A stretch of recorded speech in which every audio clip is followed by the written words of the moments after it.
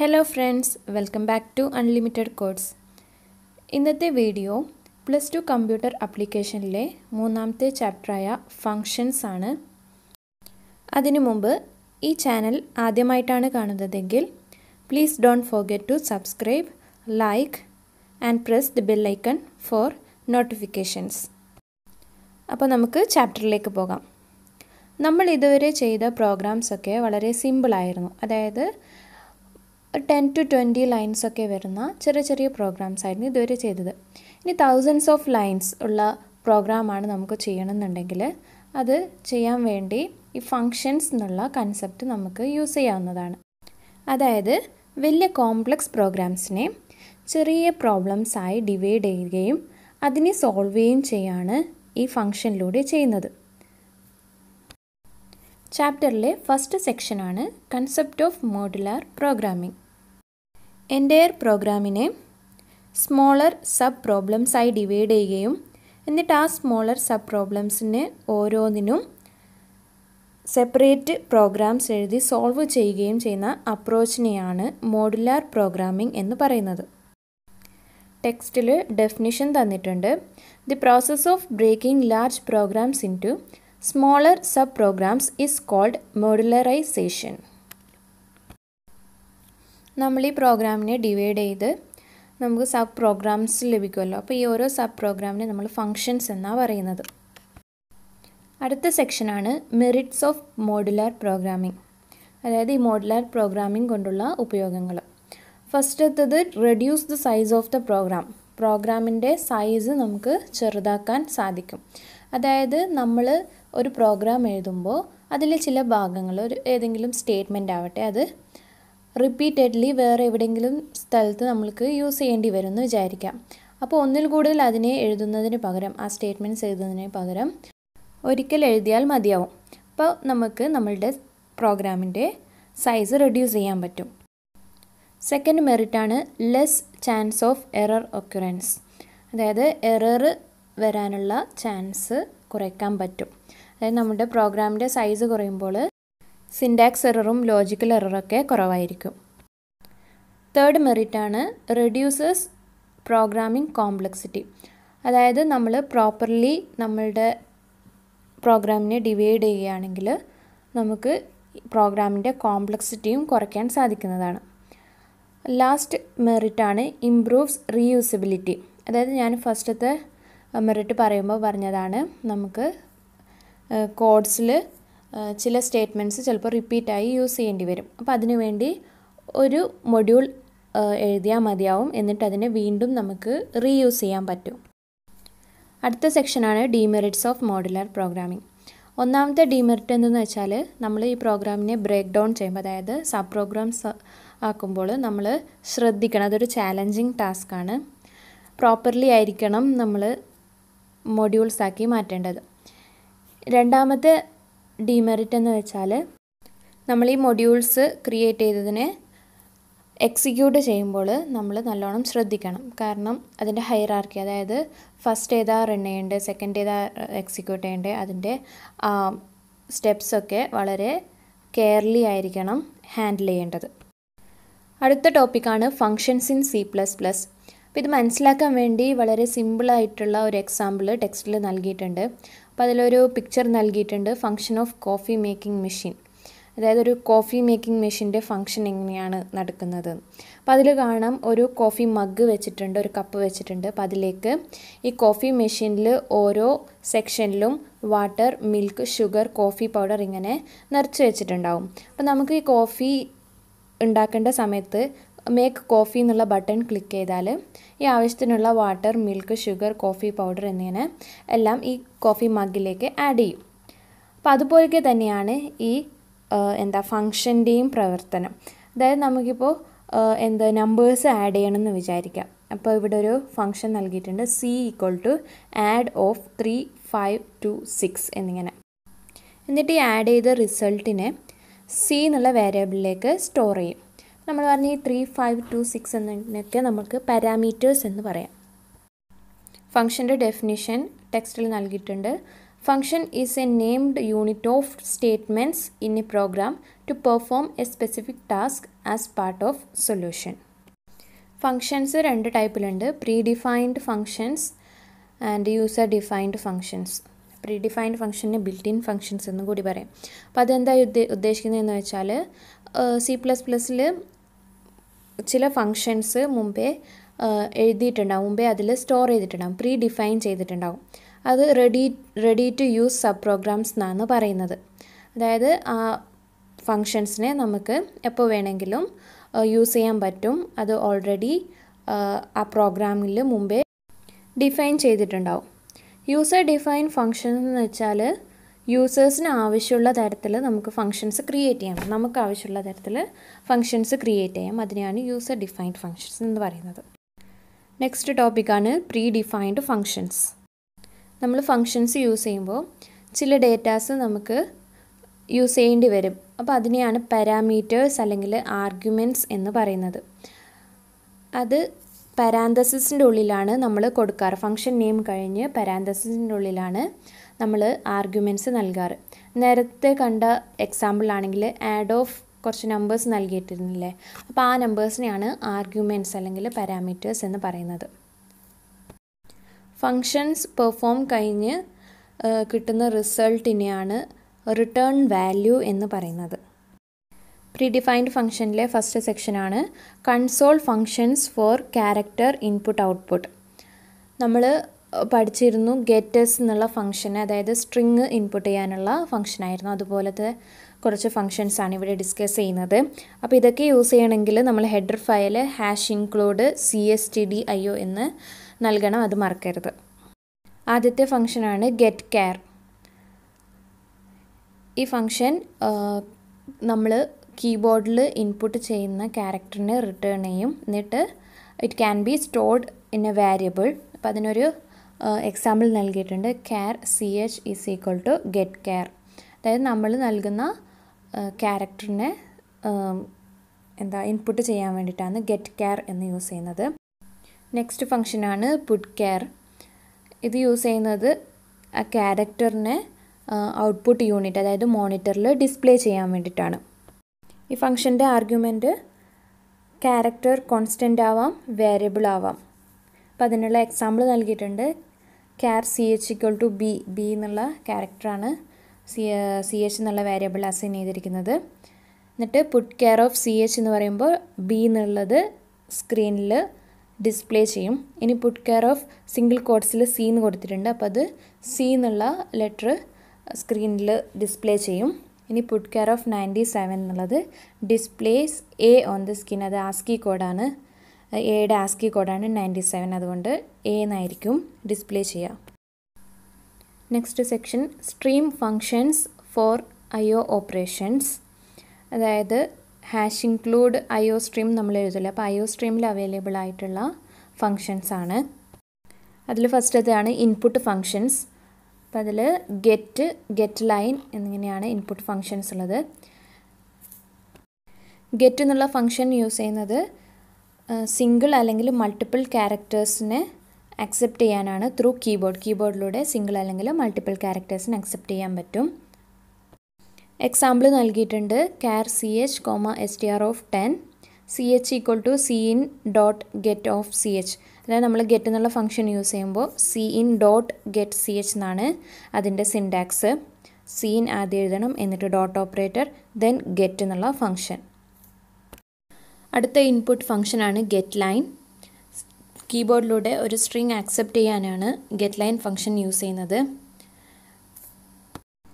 ആ സ്ട്രിങ്ങിന്റെ ഡെലിമിറ്റർ അതായത് അതിന്റെ എൻഡിങ് അതൊന്നെങ്കിൽ എന്റർ കീ ആവാം അല്ലെങ്കിൽ നമ്മൾ സ്പെസിഫിക് നമ്പർ ഓഫ് എത്ര ക്യാരക്ടേഴ്സ് ആണെന്ന് സ്പെസിഫൈ ചെയ്യാം അല്ലെങ്കിൽ ഏത് ക്യാരക്ടറിലെത്തുമ്പോഴാണ് എൻഡ് ചെയ്യേണ്ടത് എന്നുള്ള ഓപ്ഷനും കൂടിയുണ്ട് next section output functions put write എന്നിങ്ങനെ രണ്ട് ഔട്ട്പുട്ട് ഫങ്ഷൻസ് ആണ് ടെക്സ്റ്റിൽ നൽകിയിരിക്കുന്നത്. ഈ പുട്ട് റൈറ്റ് ഫങ്ഷൻസ് യൂസ് ചെയ്തതിന് മുമ്പ് നമ്മൾ സി ഔട്ട് എന്നുള്ള ഒബ്ജക്റ്റ് യൂസ് ചെയ്യണം. നേരത്തെ സി എന്നുള്ള ഒബ്ജക്റ്റ് യൂസ് ചെയ്ത പോലെ സി ഔട്ട് എന്നുള്ള ഒബ്ജക്റ്റ് യൂസ് ചെയ്യണം. അപ്പോൾ ഈ ഔട്ട്പുട്ട് ഫങ്ഷൻസ് യൂസ് ചെയ്യുന്നത് മോണിറ്ററിൽ ഔട്ട്പുട്ട് ഡിസ്പ്ലേ ചെയ്യാൻ വേണ്ടിയിട്ടാണ് ഫസ്റ്റത്തെ ഫംഗ്ഷനായ പുട്ട് എന്താണെന്ന് നോക്കാം.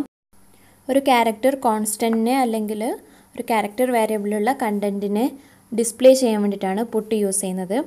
എക്സാമ്പിളിൽ char C H equal to single കോട്ട്സിൽ C എന്ന് നൽകിയിട്ടുണ്ട്. അപ്പോൾ C out dot put of C H എന്ന് പറയുമ്പോൾ സി എന്നുള്ളത് ഡിസ്പ്ലേ ചെയ്യും. ഇനി C out dot put of sixty five എന്നാണ്. അതായത് ഒരു കോൺസ്റ്റന്റ് നമ്പറാണ് നൽകിയിട്ടുണ്ടെങ്കിൽ അതൊരു ആസ്കി വാല്യൂ ആണ്. അപ്പോൾ അതിന്റെ ക്യാരക്ടർ ഡിസ്പ്ലേ ചെയ്യും. അടുത്ത ഔട്ട്പുട്ട് ഫംഗ്ഷനാണ് റൈറ്റ് അപ്പോൾ അത് യൂസ് ചെയ്യുന്നത് സ്ട്രിങ് ഡിസ്പ്ലേ ചെയ്യാൻ വേണ്ടിയിട്ടാണ്.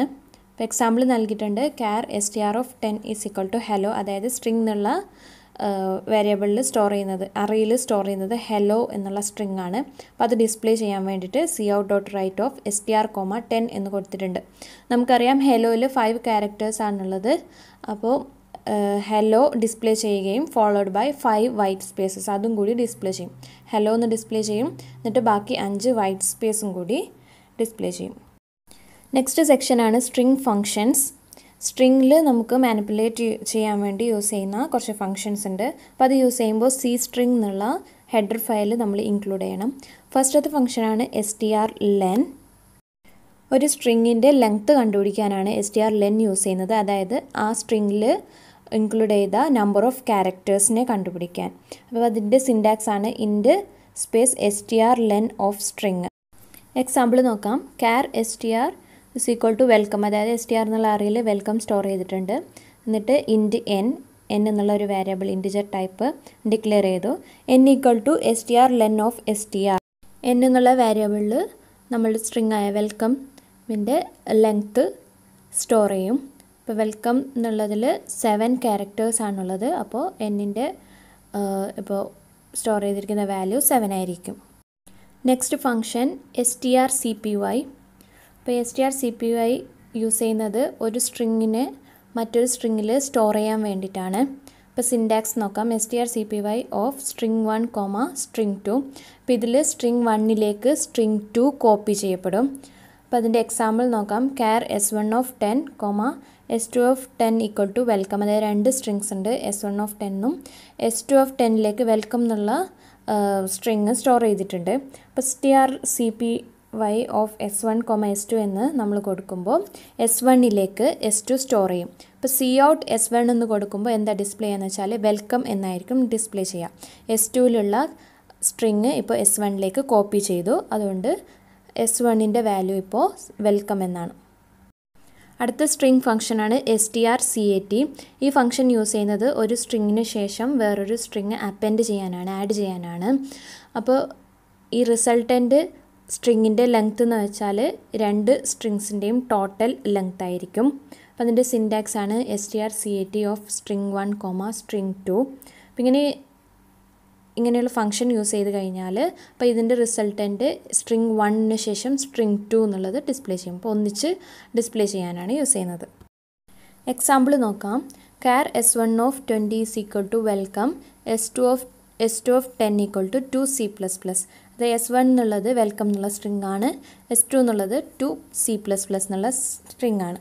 ഇനി S T R C A T of S one comma S two എന്ന് പറയുമ്പോൾ എസ് വണ്ണിന് ശേഷം എസ് ടു എന്നുള്ള സ്ട്രിങ് അപ്പൻഡ് ചെയ്യും. അപ്പോൾ സി ഔട്ട് എസ് വൺ നമുക്ക് കൊടുക്കുമ്പോൾ ഡിസ്പ്ലേ ചെയ്ത് വരാം welcome to C plus plus എന്ന് ഒന്നിച്ചിട്ട് ആയിരിക്കും.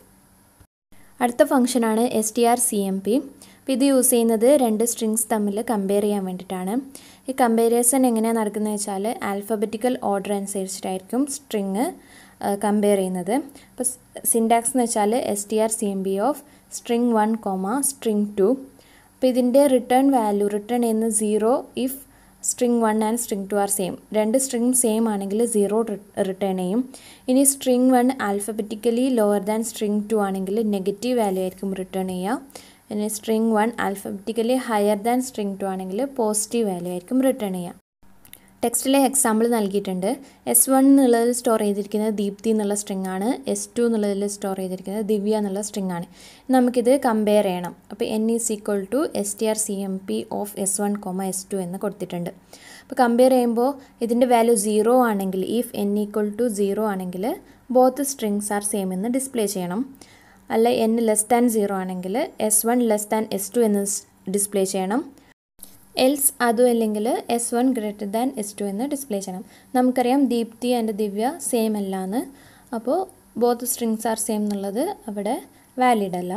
ഇനി ആൽഫബറ്റിക്കൽ ഓർഡറിലാണ് ഇതിന്റെ കമ്പാരിസൺ നടക്കുക അപ്പോൾ അതിന്റെ ഔട്ട്പുട്ട് എന്തെന്ന് വെച്ചാൽ S one less than S two എന്നായിരിക്കും. അടുത്ത ഫംഗ്ഷനാണ് S T R C M P I അപ്പോൾ ഇത് യൂസ് ചെയ്യുന്നത് രണ്ട് സ്ട്രിങ്സിനെ തമ്മിൽ കമ്പയർ ചെയ്യാൻ വേണ്ടിയിട്ടാണ്.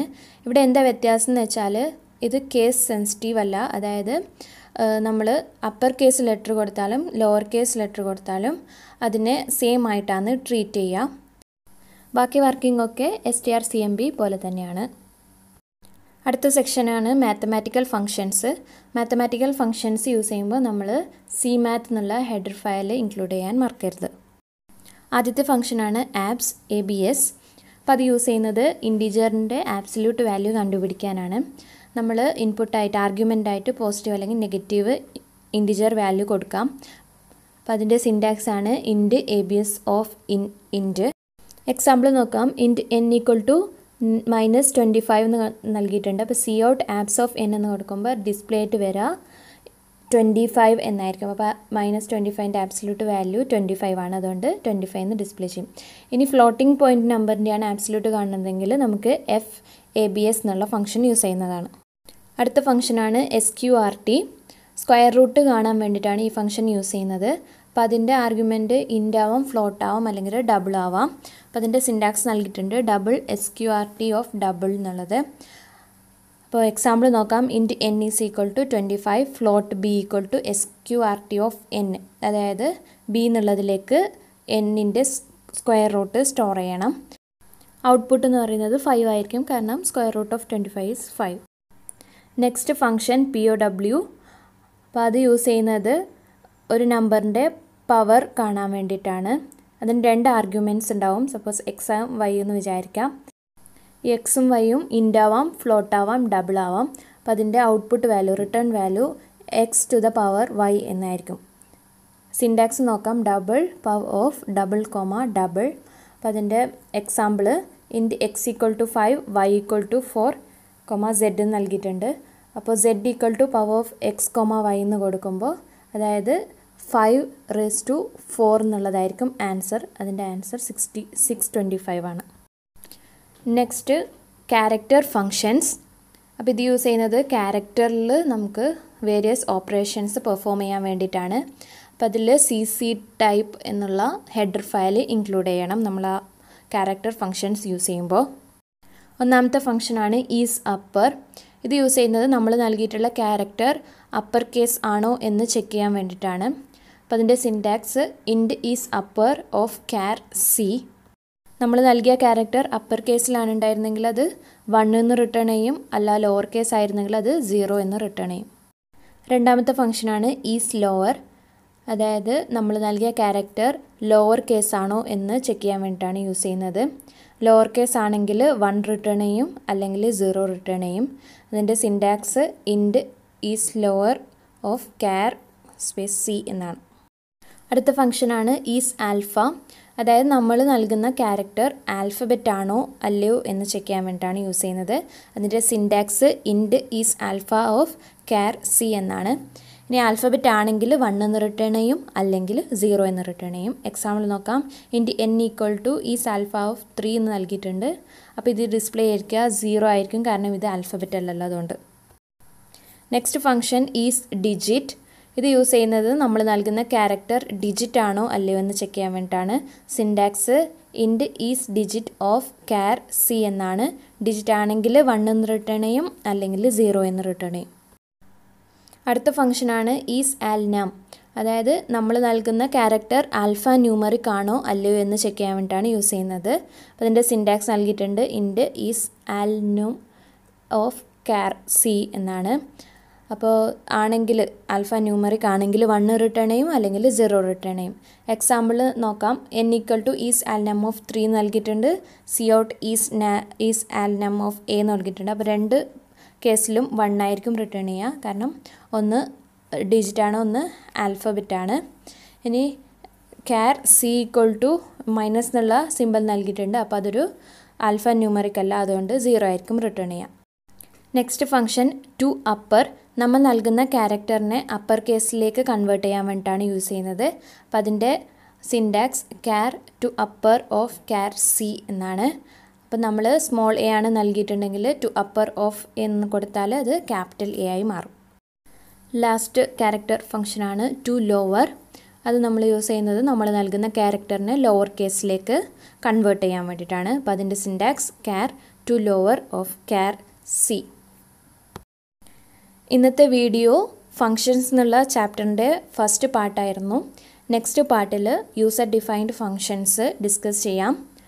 അപ്പോൾ വീഡിയോ ഇഷ്ടപ്പെടുകയാണെങ്കിൽ please don't forget to subscribe and like unlimited codes